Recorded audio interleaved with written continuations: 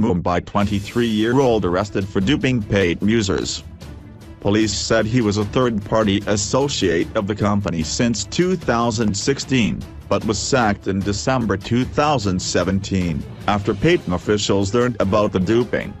Mumbai police has arrested a 23-year-old man for allegedly duping customers under the pretext of conducting the Know Your Customer verification for their Paytm accounts.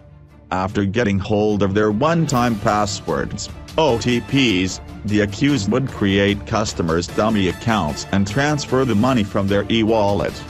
The accused, identified as Shivkumar Gupta, was arrested from his Kurla residence on Monday. Police said he was a third-party associate of the company since 2016, but was sacked in December 2017, after Paytm officials learned about the duping. Police confirmed that Paytm had engaged a private firm to appoint field employees. It was this firm that Gupta was employed with. Investigators suspect that several other persons may be involved in the fraud. In one of the cases registered with the Kurla-based VB Nagar police station, the complainant Sachin Sutra, a hotel owner, was duped of money. An officer from VB Nagar police station said, the complainant owns a hotel in Kurla, Gupta approached him under the pretext of opening a retail Paytm account of his hotel. The accused informed him about the advantages of having a Paytm account following which, he downloaded an application on his mobile phone and opened an account. Sutra being less educated, told him his password.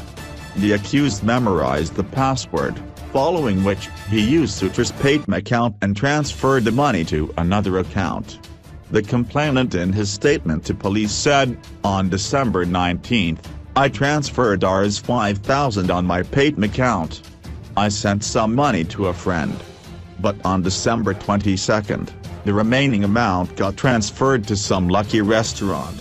When didn't understand what was happening, I tried calling Gupta, who, I realized, had blocked my phone number. I sensed something fishy and reported the incident to the Paytm customer care.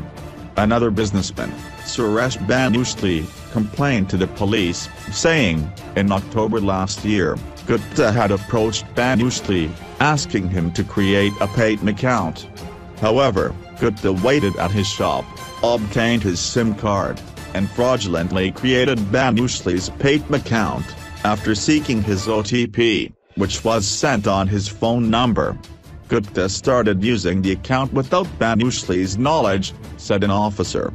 We got the information on the accused as Gupta was a common person in both the cases. So as part of investigation, we even called the officials of the company and got his address. We realized that the accused had given a wrong address, said an investigator.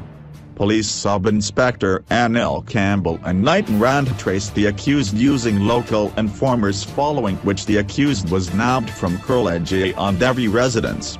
Senior Police Inspector Bharat Bhoite from VB Nagar Police Station confirmed the arrest. When contacted, Paytm officials refused to comment. The accused has been booked under Sections 419, punishment for cheating by personation, and 420, cheating and dishonestly inducing delivery of property, of the Indian Penal Code along with under relevant sections of IT Act.